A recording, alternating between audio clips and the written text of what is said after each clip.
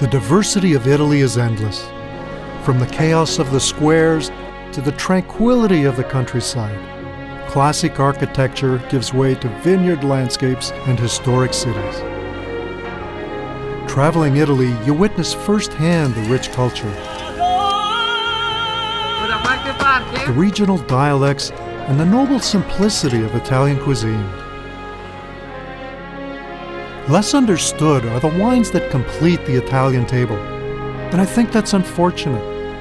For me, the wines are an expression of Italy itself, incredibly varied, distinctive in style, and true to their roots and tradition. Salud.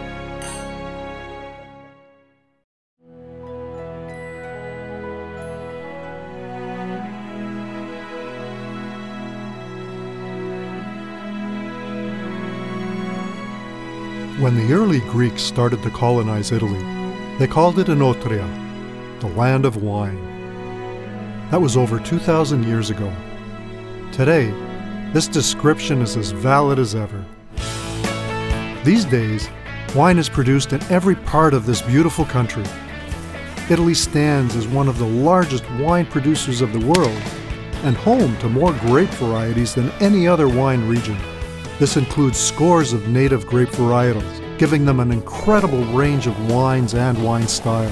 Vintages that are as distinct in character as the regions in which they are grown. It's vines everywhere. Everywhere.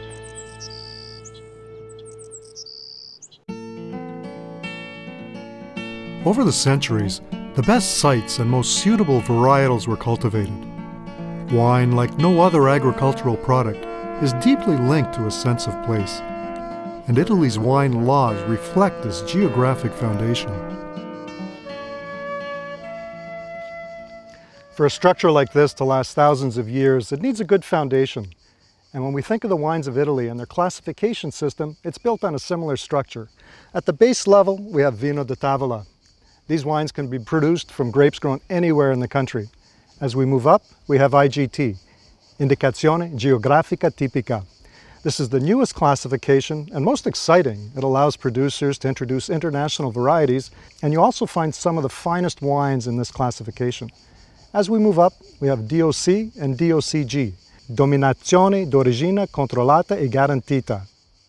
That's a mouthful, but what it really means is it's tightly regulated areas, it controls the regions, the types of grapes that are produced, the yield of the grapes, and even the styles that the producers can make.